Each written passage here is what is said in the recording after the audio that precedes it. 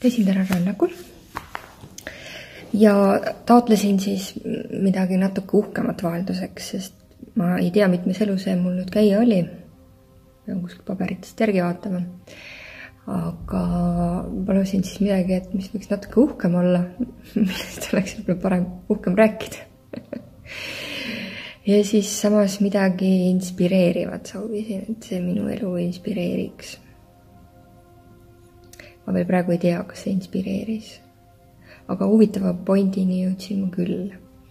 ühesõnaga, see rännakule minek oli, oli selline huvitav, et mingi Youtube'i video järgi siis juhendamisel läksin ja ja see koht, kus ma siis sisse läksin, oli selline nagu triumfikaare moodi selline kandiline, hästi uhke äh, nagu kujudega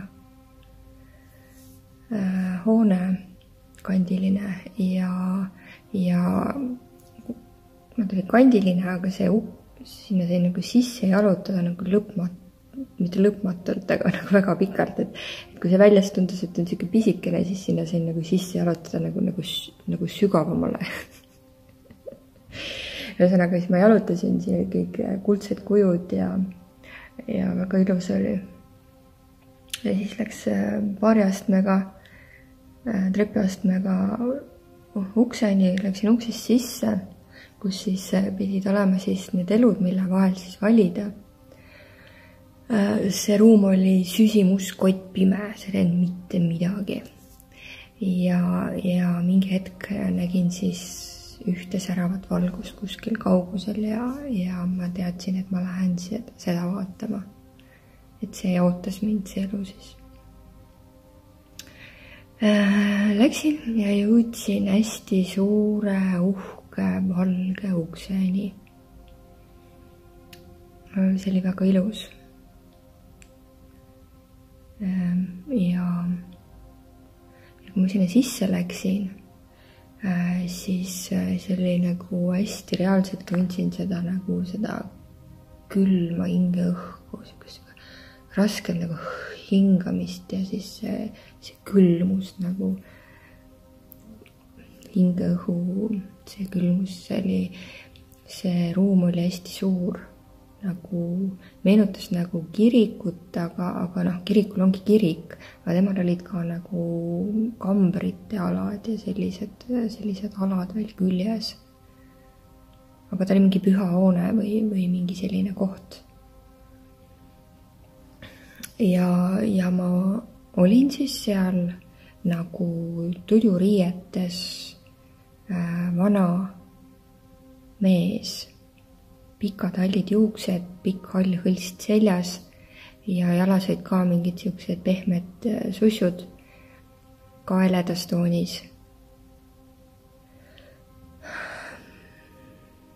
hallikad valged pikad juuksed, valge pikk hõlst ja jalas ka hallikad valged sussud. ja, ja ma olin seal selles uhkes hoones, seal olid hästi kõrgel lagi, kaared, äh, nikerdused Äh, suur nagu trepp ja palee ja, ja nagu kiriku selline noh, jumala ülistamise selline aura oli siis seal nagu sees. Ma olin seal nagu üksi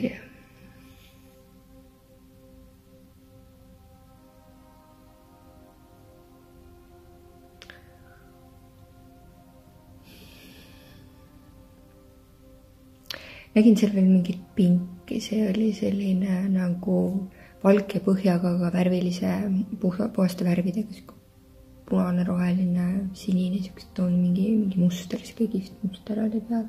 Ja siis nägin neid akna, ümmargusi aknaid nagu ka, kus oli siuksed ähm, need mosaiigi mustrid siis peal, sihuke hästi huvitav. nüüd oli nagu valge, valge sall üleni selline hoone seest ja, ja siis ma vaatasin seda veel kõrgelt ka. Noh, kuna see Youtube'i video seal vahepeal jättis suuri pause, siis ma proovisin sinna sisse siis pikkida veel, et mida ma tahan vaadata või kuhu ma noh, tundsin, et ma saan veel minna. ma vaatasin seda nagu kõrgelt, et see oli selline nagu nagu loss kuskil mäejalamil ja siis muu loodus ja majapidamised.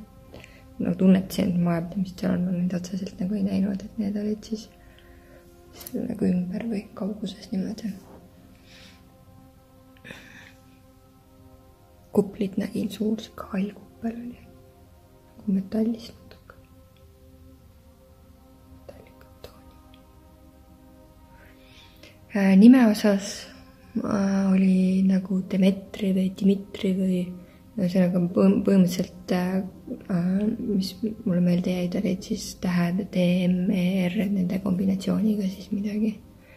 Rootsi lippu nägin korraks ja aastaarve oli kas viissada kolmkümmend seitse või tuhat kolmsada seitsekümmend viis, et kolm ja seitse olid sellised nagu, mis jäid nagu meelde aastaarvust.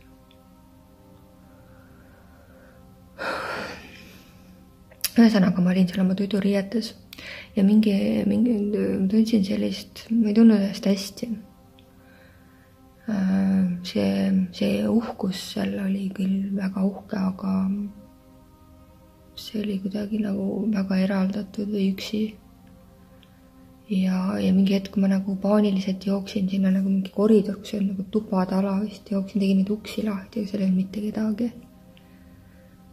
et, et sa olid nagu sellel kõrgel positsioonil nagu üksi. Äh, mingi järgmine hetk oli siis see, kui oli üks suur saal. Äh, see saal oli kõik rahvast täis ja nad olid, äh, avaldasid siis austust ja olid kummargil altari poole. see oli nagu täiesti täis nende põranda peal ja kõik nad olid nagu kummargil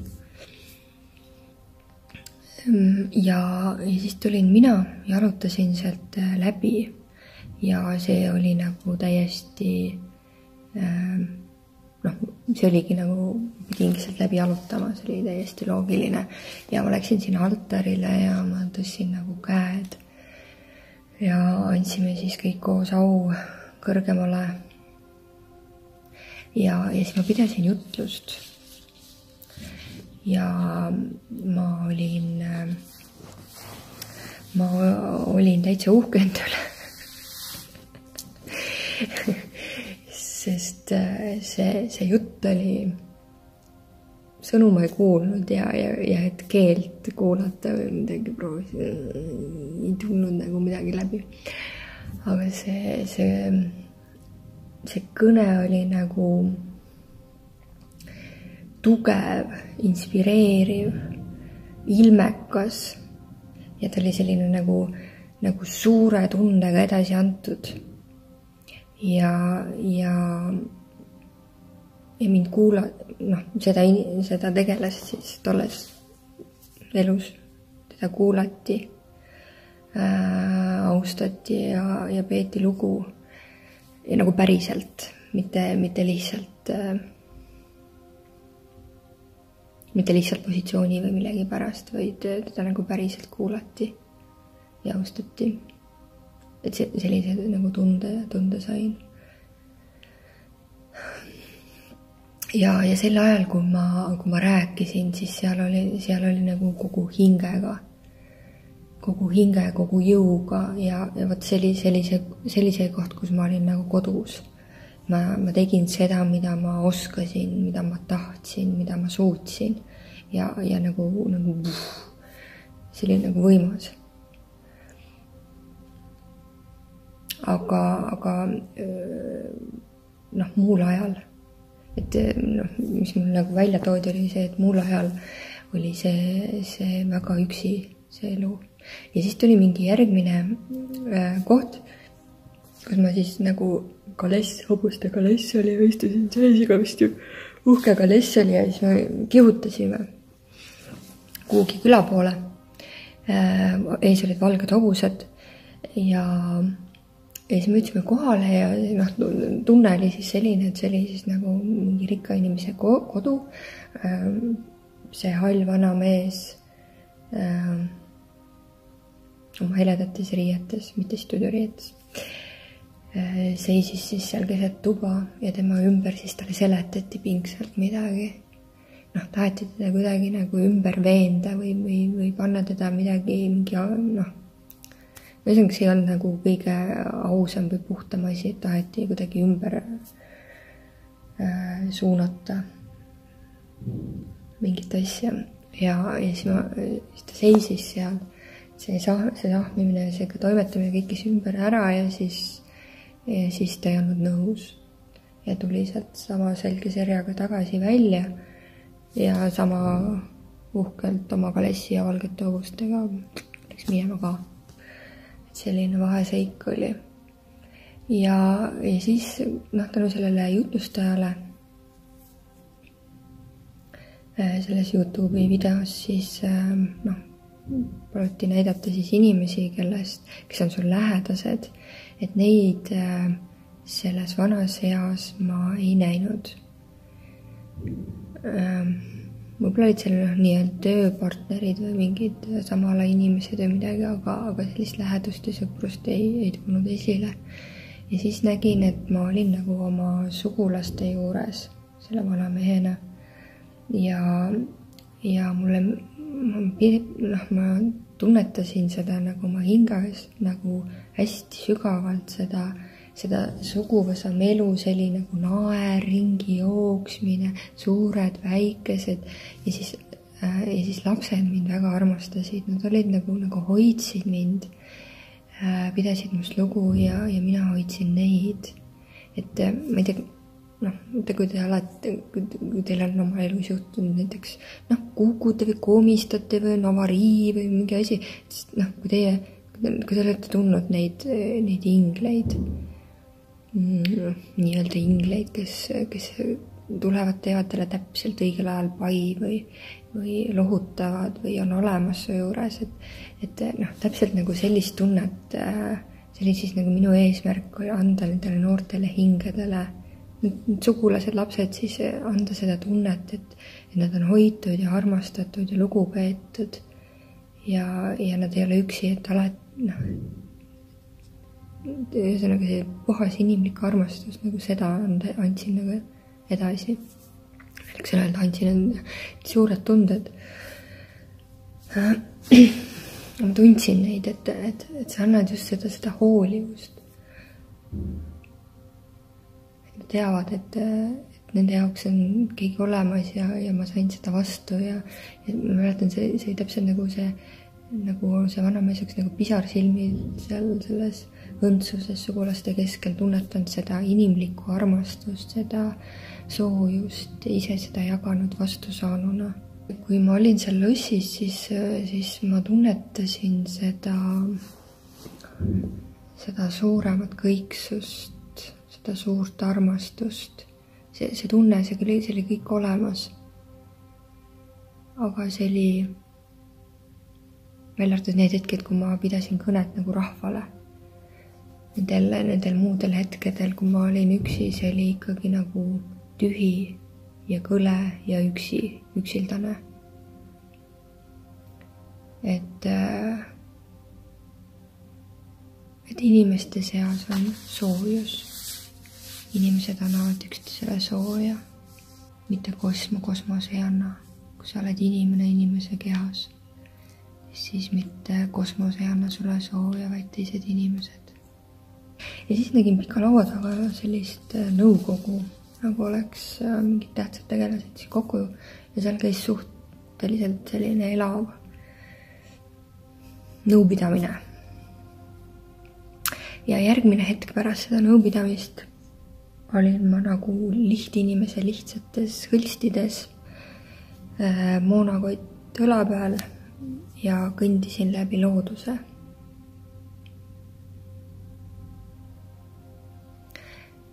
Ja, ja see õnnetunne, mis mul siis oli, oli üle aastate, ma arvan, mul jäi mulje, et ma kogesin sellist õnnetunnet viimati nagu sellise varateismelise poisina. Kui sa olid veel laps, pruuni peaga, mustade silmadega poiss. ma olin selline õnnelik elav laps. seda vahepealset asja ma ei näidatud mulle, kuidas ja mis ja kuidas see toimis ja käis. ja siis olin vana ja, ja kui ma läksin seal seljakott, ma olin nagu kõigest loobunud või üle andnud. ja olin nagu kirik, sealt kiriku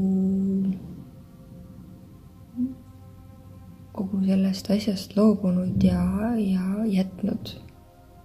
ma ei tea, kas tehti sellist asja üldse. igatahes ma otsustasin äh, vaba, valida vabaduse.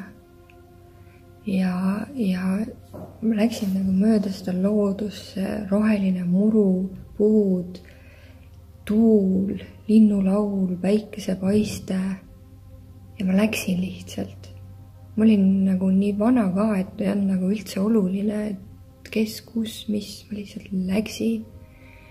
ja, ja, ja mu hing laulis sees ja ma olin vaba ja ma olin värskes õhus, värskes päikeses, mitte mingite hallide kõrgete kiviseint, kiviseinte vahel mitte puu, puukirik või midagi, kivi, kivist toonegi ah.. ja ma läksin ja, ja ma käisin seal külast külla ja, ja lapsed armastasid mind ja mina armastasin lapsi ja, ja seal pedofiili teemat küll ei olnud. see oli puhas kõrgem armastus. lihtsalt see, mina arma-, armastan sind ja mina hoolin, tunne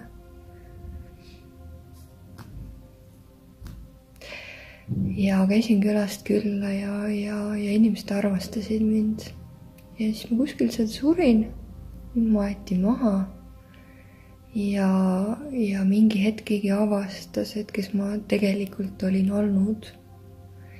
ja, ja mind maeti uuesti üles ja maeti uuesti maha kuhugi kirikualadele ja mulle pandi suur kõrge valge sammas, kus siis inimesed sa, said väga kaua veel tagantjärgi käia.